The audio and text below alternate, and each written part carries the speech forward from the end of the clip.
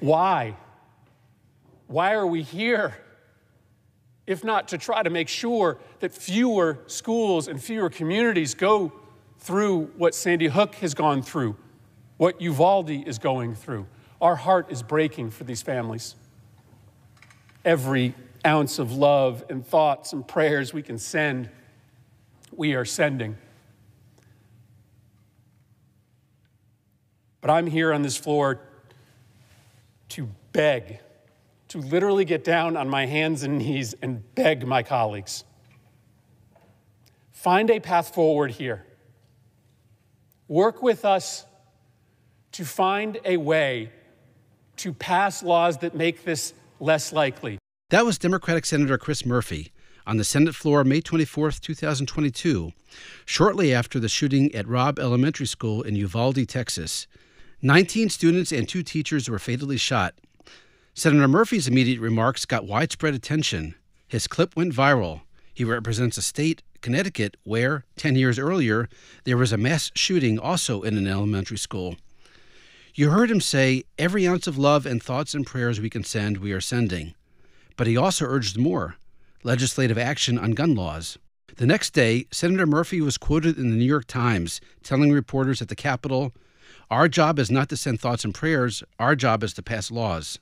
But there are people in Congress whose job it is to send prayers. These people are the Congress chaplains. They pray for a living.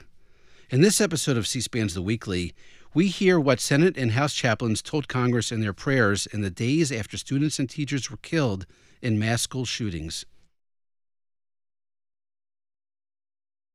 Every legislative session of Congress opens with a prayer. They pray even before they recite the Pledge of Allegiance. Typically, the prayer is offered by the official chaplain of the House or the official chaplain of the Senate. Sometimes a guest chaplain offers the prayer. That was the case in the House on April 22, 1999, the day after 15 deaths, including the perpetrators, from a shooting in Columbine High School in Colorado.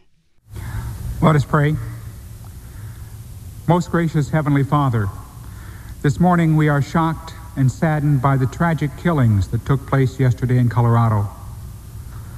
Our hearts go out to all those who have lost loved ones in this terrible act of violence.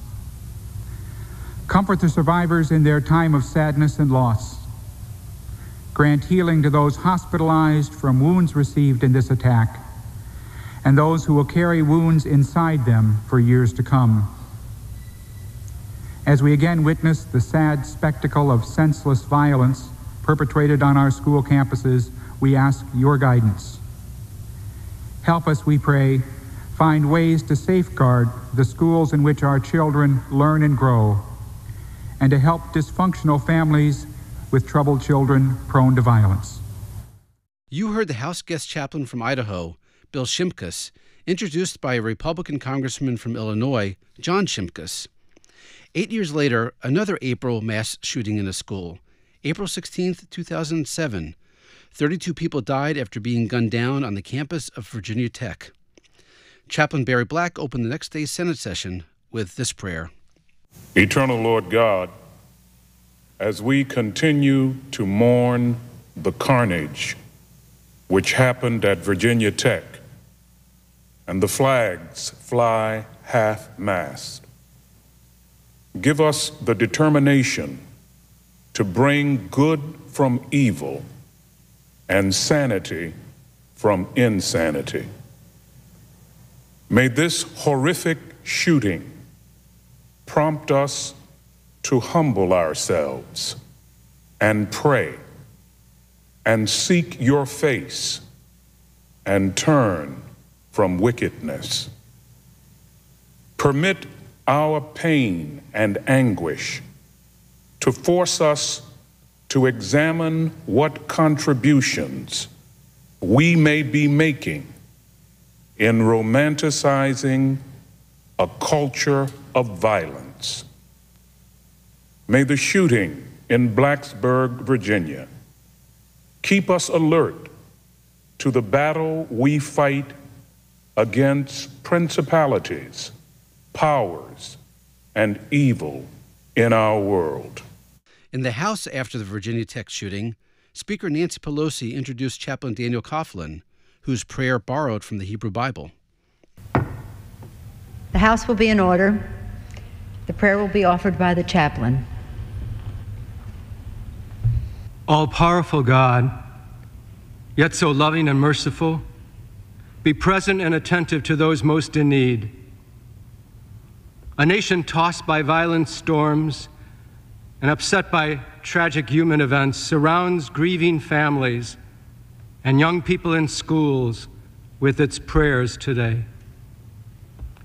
As faith filled Abraham reveals your own filial love as he gazed on his son Isaac, so we identify with any parent who groans in mourning over the lifeless body of a child.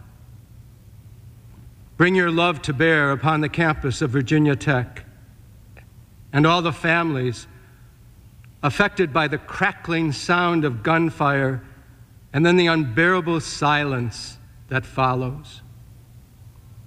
Thrown by the rush of terror and anxiety, may the people of God now reach out to them in their overwhelming moment of helplessness.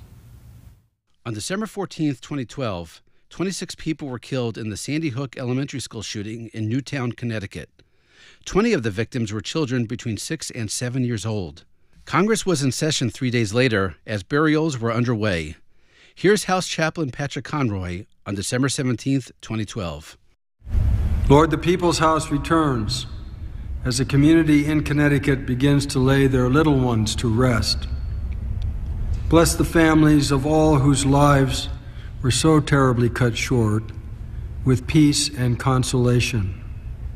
Help them. Help us all to have hope in a time of great desolation. The souls of the just are in the hand of God, and no torment shall touch them. Chaplain Barry Black also focused on the shooting in his prayer opening the Senate and even urged senators to take action. Almighty and everlasting God, in whom we live and move and have our being, as we grieve the loss of life in the Newtown, Connecticut shooting. Show us your way and teach us your path. Make us all responsible stewards of your most precious gift of time by teaching us to number our days that we may have hearts of wisdom.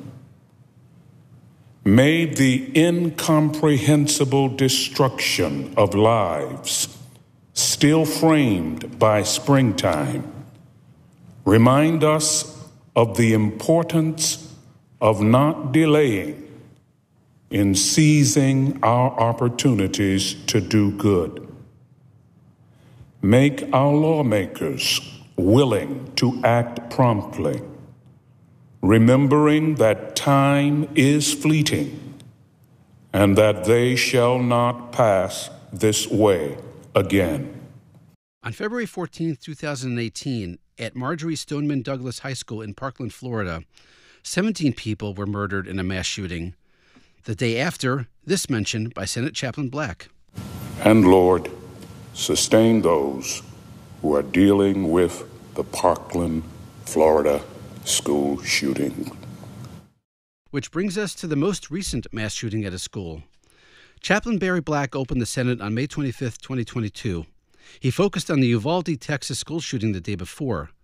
But this time, perhaps anticipating legislators who would say that more than prayers were needed, he added a direct message about the value of prayer. Lord, as we mourn the senseless tragedy at Robb Elementary School in Texas, guide us with your grace. Lord, sometimes prayers seem so useless, yet in 1 Thessalonians 5:17 you told us to pray without ceasing. We lift our voices again to you. We pray because you have helped us in the past. We pray because you are our hope for the years to come. Strengthen us to pray and work until justice rolls down like waters and righteousness like a mighty stream. And on May 31st, 2022, the day after Memorial Day, House Chaplain Kibben opened the House with a prayer linking America's soldiers who died in war with the victims in the Uvalde school shooting. But as the first funerals are held today following the tragedy in Texas, we also grieve the innocents who didn't live long enough to have a choice as to how they would give their lives. Lord God, our Father, we raise our voices of grief and mourning in memory of the ones who were lost on Uvalde's battlefield, the 19 children and their two teachers. We cry with the families who sent their children off to school, but who now drape themselves over tiny caskets, yearning just to hold them one last time. Our country's eyes are dim with grief, and we call out to you, spreading before you our deepest sadness.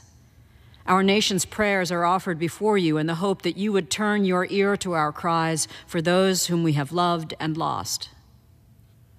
O Lord, you are the God who saves. Show your compassion to us in these moments. Declare your love to us in the midst of our grief. In your sovereign name, we pray your favor. Amen. Now, two bonus clips.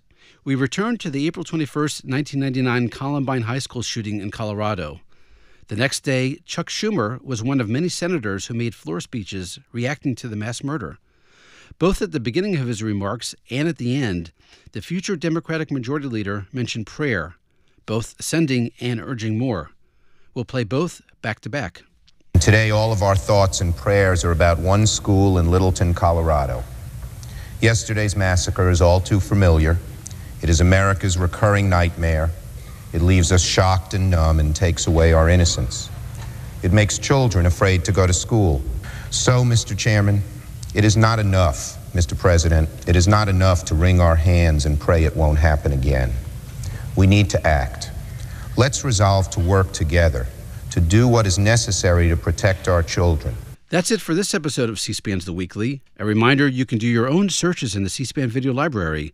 You can find more reactions by representatives and senators to mass shootings in schools and elsewhere.